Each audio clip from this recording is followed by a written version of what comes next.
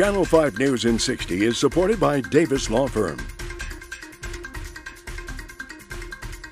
The Department of Homeland Security is planning to close gaps in the border fence in Cameron County. They'll be waiving 20 environmental laws to expedite the construction. DHS was given the authority to waive the laws in 2006 when the first round of the border wall started going up. DHS will build moving gates and roads where those holes are so property owners can have access on both sides. The FBI is urging business owners to be on alert. Foreign hackers are looking to get into computer systems. Hacking has been an issue for more than a decade, so the feds recommend encrypting personal information and backing up systems to an offline system.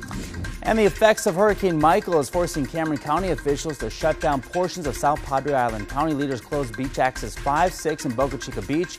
Forecasters at the National Weather Service say the storm is causing rough conditions along the Gulf Coast. Your forecast for today a 40% chance of rain in the afternoon, partly cloudy, highs in lower 90s. That's News in 60. Have a great day.